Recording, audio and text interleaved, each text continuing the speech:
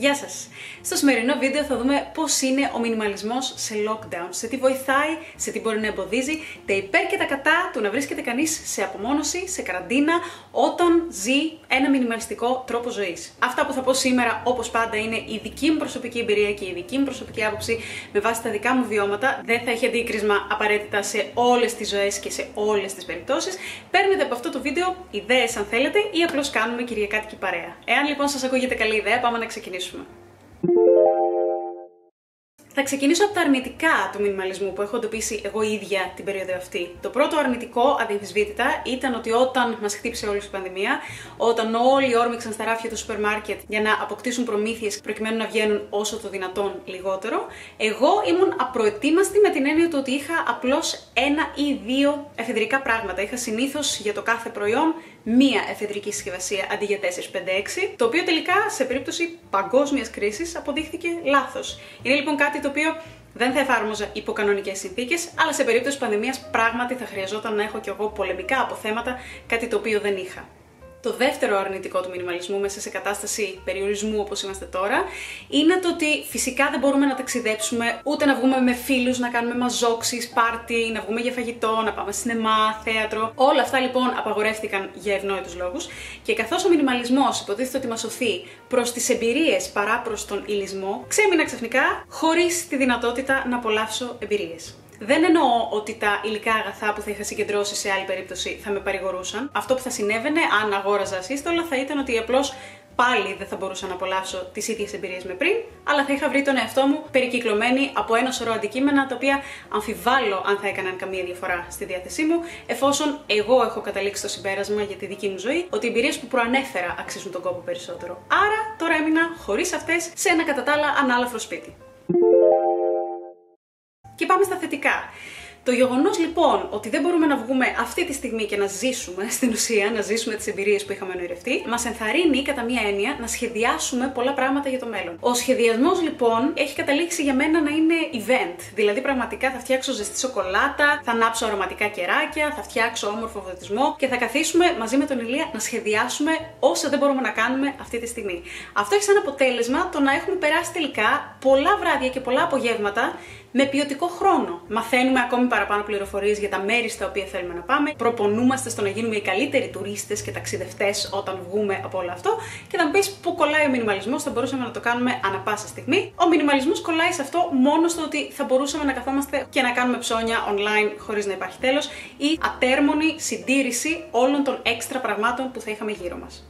Σαν κάποιος λοιπόν που τις περισσότερες φορές εκτιμά τις εμπειρίες παρά κάτι το χειροπιαστό, έχω προσπαθήσει να δημιουργώ όσο περισσότερες εμπειρίες γίνεται εντός του σπιτιού ή και εκτός σπιτιού, όταν πρόκειται για έξοδο στο πάρκο ή για γυμναστική. Ξέρετε ότι εγώ δεν το κάνω αυτό. Κάθε φορά που θα μείνουμε σπίτι και θα μαγειρέψουμε για βράδυ, αντί να είναι κάτι απλό ή κάτι βιαστικό ή κάτι που έχουμε ξαναφτιάξει πάρα πολλές φορές όπως παλιά, όταν γυρνούσαμε για παράδειγμα κουρασμένοι από τη δουλειά, τώρα που έχουμε όλο το χρόνο στη διάθεσή μας, όλο αυτό θα γίνει σχεδόν γιορτή. Θα δοκιμάσω καινούργιες συνταγές, θα φτιάξω το σκηνικό πολύ πιο όμορφο όταν είναι να κάνουμε movie night που λέμε, δηλαδή όταν είναι να δούμε ταινία. Μπορεί να παίξουμε κάποιο επιτραπέζιο που εγώ δεν τα συμπαθώ πάρα πολύ, αλλά υπάρχουν άπειρες online επιλογές με ερωτήσεις, με quiz, με προκλήσεις, ώστε να γελάσει κανείς και να ξεδώσει και να ξεχαστεί και να περάσει ωραία. Όλα αυτά λοιπόν που κάποτε παίρναμε για δεδομένα, όπως είναι το φαγητό μέσα στην ημέρα ή το να δούμε μια σειρά και μια ταινία ή οτιδήποτε τέτοιο βασικό, πλέον στολίζεται, φροντίζεται, βάζει τα καλά του και γίνεται το highlight της κάθε μέρα.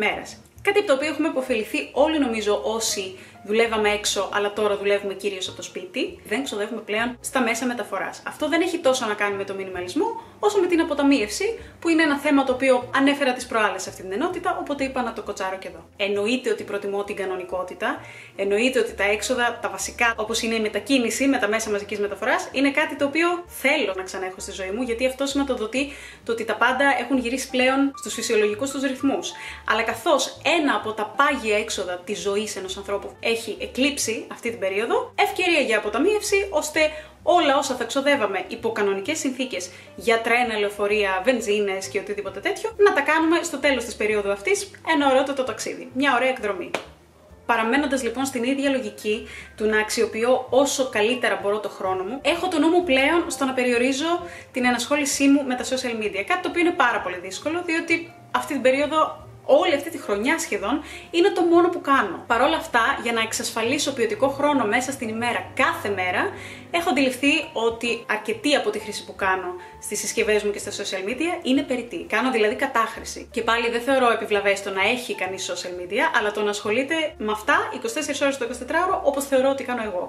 Αυτό είναι λοιπόν κάτι που έχω περιορίσει και σε αυτό με έχει επηρεάσει ο μινιμαλισμός έμεσα, γιατί συνεχώς τσαμπουνάω το ίδιο πράγμα, ότι δεν έχει να κάνει τόσο με τα υλικά αγαθά όσο και με την απαλλαγή από βλαβερές συνήθειες, άρα να μην βλαβερή συνήθεια, την οποία προσπαθώ να ελαττώσω όλη αυτή η κρίση μου έχει υπενθυμίσει πλέον και την ομορφιά του να διαβάζει κανείς βιβλία. Οπότε, καθώς πλέον διαβάζω λίγο περισσότερα βιβλία από ό,τι πριν από αυτή την κρίση, επιλέγω να το κάνω ηλεκτρονικά. Δεν είναι τόσο βολικό, Προτιμώ τα βιβλία σε φυσική μορφή. Απλώς θα επιστρέψω στην αιτιολόγηση που σας είχα δώσει και σε άλλα βίντεο ότι δεν θέλω να συγκεντρώσω άπειρα βαριά αντικείμενα στο σπίτι αυτό, γιατί κάποια στιγμή θα μετακομίσουμε και δεν θέλουμε να ταλαιπωρηθούμε στη μετακόμιση. Αν μπορούμε δηλαδή να αποκομίσουμε τα θετικά ενός βιβλίου χωρίς να χρειάζεται να κουβαλήσουμε και το φυσικό του βάρος στο τέλος με το που αφήσουμε αυτό το σπίτι, ακόμα καλύτερα.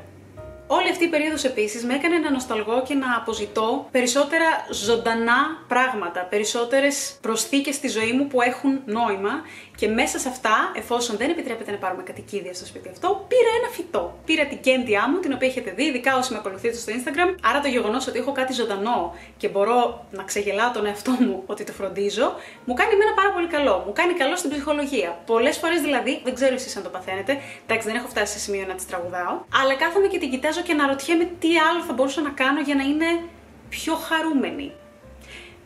Ενώ πώς θα μπορούσε η ατμόσφαιρα να είναι πιο φιλική για αυτήν, αν τα επίπεδα υγρασίας στο χώρο την ευνοούν στο να ευδοκιμήσει ή οτιδήποτε τέτοιο. Μοιάζομαι για κάτι που ζει. Αντί να πάρω λοιπόν ένα καινούριο φουρνάκι για τα νύχια που λέει ο λόγος, πήρα ένα φυτό. Τίποτα το μεμπτό δεν υπάρχει στο φουρνάκι για τα νύχια. Θέλω απλώς να πω ότι προτίμησα κάτι το οποίο μπορεί και εμένα να μου δώσει ενέργεια, όπως εγώ το ποτίζω έτσι κατά μία έννοια πνευματικά με ανακουφίζει και αυτό.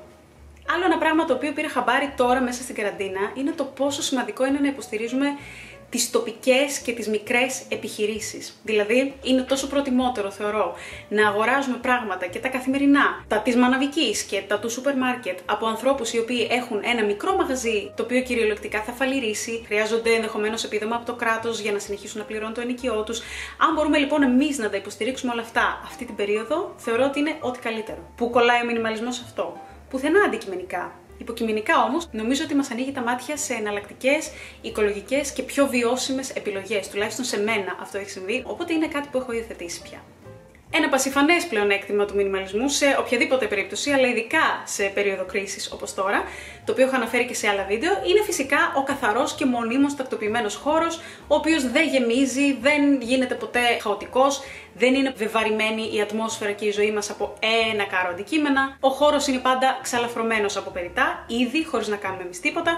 Το περιβάλλον μας είναι φιλόξενο και νοικοκυρεμένο και καθαρό. Και όλα αυτά χρειάζονται λιγότερη συντήρηση, δηλαδή λιγότερο καθάρισμα, λιγότερο σημάζεμα, λιγότερη οργάνωση και λιγότερες επισκευές. Μένει ελεύθερος χρόνος για να υιοθετήσουμε άλλες συνήθειες για να κάνουμε πράγματα που μας αρέσουν περισσότερο. Και όλα αυτά έχουν σαν αποτέλεσμα για μένα το λιγότερο στρες. Και ένας Θεός ξέρει πόσο λιγότερο στρες χρειαζόμαστε αυτή την περίοδο. Οτιδήποτε δηλαδή μπορεί να μας προκαλέσει λιγότερο στρες, εγώ θα ήθελα να το υιοθετήσω. Το ίδιο ισχύει και για το φυτό που σας είπα άλλωστε.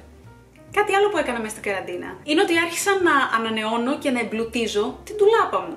Γιατί την αλήθεια μου θα σας την πω, έκανα εκείνο το βίντεο με τα 32 ρούχα για όλο το χρόνο. Και κάποια από αυτά τα ρούχα, τελικά, βλέποντάς τα σε βίντεο, τα βρήκα λίγο κουρασμένα, θεωρούσα ότι δεν με αντιπροσωπεύουν πλέον τόσο πολύ. Και νομίζω ότι αν δεν είχε επέλθει αυτή η κατάσταση που ζούμε τώρα, δεν θα το έχω αντιληφθεί. Γιατί πέρασα ένα με δύο χρόνια αντιμετωπίζοντας την καρνταρόμπα σαν κάτι το απόλυτα χρηστικό. Τώρα σιγά σιγά μου ήρθε μια νέα όρεξη, βρήκα και εγώ την ώρα. Και αμέσως αμέσως μαζεύτηκαν 4-5 καινούργια πράγματα, μην σας πω 7, 8, 9, με τα οποία θα ήθελα να με δω τώρα πια που μεγάλωσα και να αποτινάξω τα υπολείμματα του φοιτητικού μου στυλ. Άρα με πολύ αργούς ρυθμούς και με πολύ ψάξιμο και με γνώμονα τη βιωσιμότητα κυρίως και προσπαθώντας να κάνω όσο το δυνατόν πιο οικολογικές επιλογές, είτε από δεύτερο χέρι, είτε από μάρκες οι οποίες είναι πιο φιλικές προς το περιβάλλον και με ηθικές συνθήκες εργασίας και όλα αυτά. Οπότε αυτό δεν θεωρώ καθόλου ότι αντιτίθεται στο μινιμαλισμό. Μία ανανέωση ντουλάπας από τη στιγμή που υπάρχει από πίσω πρόθεση και μέτρο με κάνει πολύ πιο ανυπόμονη και αισιόδοξη για να τα φορέσω και να τα δείξω και να νιώσω όμορφα στο μέλλον. Με αυτή τη λογική λοιπόν μπαίνοντας ξανά στα μαγαζιά,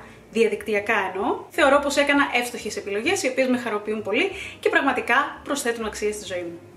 Και τέλος, θεωρώ ότι ο μινιμαλισμός και η πανδημία έχουν το εξής κοινό. Πρώτα απ' όλα, η φήμη τους εξαπλώνεται σαν πυρκαγιά. Α ξεκινήσουμε από αυτό. Όχι, πλάκα κάνω. Είναι μία περίοδος επανεκτίμησης των πάντων. Και δεύτερον, είναι μία ευκαιρία για να αποκτήσουμε μεγαλύτερη διάβγεια και να φέρουμε τις πραγματικές μας προτεραιότητες στην επιφάνεια. Μπορούμε εκούσια να κάνουμε ένα διάλειμμα από τους πάρα πολύ γρήγορους ρυθμούς της καθημερινότητας, να κάνουμε μία παύση, να αρχίσουμε να ζούμε λίγο πιο αργά, με λίγο πιο αργούς ρυθμούς, να καταναλώνουμε πιο αργά, να σκεφτόμαστε τις επιλογές μας περισσότερο. Και όλα αυτά δυνητικά θα μπορούσαν να οδηγήσουν σε μια κατάσταση μεγαλύτερης ηρεμίας και σταθερότητας. Και δεν εννοώ οικονομικής ή ηλική σταθερότητας. Εννοώ αυτό που λέω συνήθως. Το συμπέρασμα είναι αυτό στο οποίο καταλήγω σε κάθε μινιμαλιστικό βίντεο σχεδόν, ότι καθώς ο μινιμαλισμός ουσιαστικός δεν αφορά, πιστεύω, αποκλειστικά τα υλικά αγαθά και την υπερκατανάλωση. Είναι καιρός για εξέταση και επανεκτίμηση του τι μας συμβαίνει. Η πρώτη καραντίνα, ίσως και η δεύτερη τώρα, μας ανάγκασε να ερχόμαστε σε καθημερινή τριβή, ίσως και σε, με τοπική σύγκρουση, με ανθρώπους που είναι τριγύρω μας, οι οποίοι ενδεχομένως δεν μας κάνουν καλό. Αν βρισκόμαστε σε μια χρόνια κατάσταση όπου το περιβάλλον μας είναι τοξικό ή ακόμα και κακοποιητικό, δεν υπάρχει καλύτερη εποχή να τα αλλάξουμε αυτό από ότι τώρα. Αυτό ήταν λοιπόν το σημερινό βίντεο. Ελπίζω να σας άρεσε. Εάν ναι, μπορείτε να κάνετε like και εγγραφή στο κανάλι. Ό,τι ερωτήσεις, σκέψεις, σχόλια και τέτοια έχετε, μου τα αφήνετε από κάτω. Και βρείτε με και στο Instagram που θα έχω το όνομά μου τόσο εδώ όσο και στο κουτί της περιγραφής μαζί με τα links για τα βίντεο που σας ανέφερα και προηγουμένως. Σας ευχαριστώ πάρα πολύ που παρακολουθήσατε και θα σας δώσω το επόμενο βίντεο. Γεια σας!